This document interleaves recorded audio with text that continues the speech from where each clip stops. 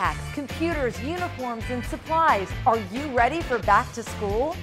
Whether it's high school, middle, or elementary, there's so much to do as your child gets ready to head back to the classroom.